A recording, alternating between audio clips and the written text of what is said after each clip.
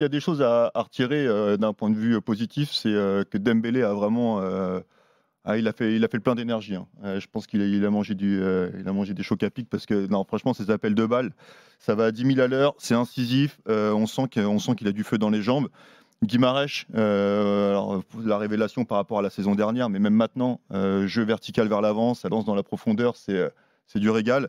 Et après, pour moi, le, point un peu d'amélioration, c'est cette défense centrale. C'est quand même assez lourd, cette défense centrale Marcelo Anderson. Et plusieurs fois, euh, on a pu entendre d'ailleurs les remarques de, Rudy Garcia, et tiens, pour le coup, j'étais d'accord avec lui aussi, c'est que ça ne va, pas, ça, va pas chercher haut dans, dans les pieds des, attaquants adverses. On a essayé plusieurs fois Dolberg se, retourner. Alors, par crainte peut-être de se faire prendre dans le dos, dans, la profondeur, je ne sais pas, mais euh, voilà, c'est sûr, Deneyer quand même manque, manque à cette charnière. Euh, il a joué d'ailleurs en, deuxième période.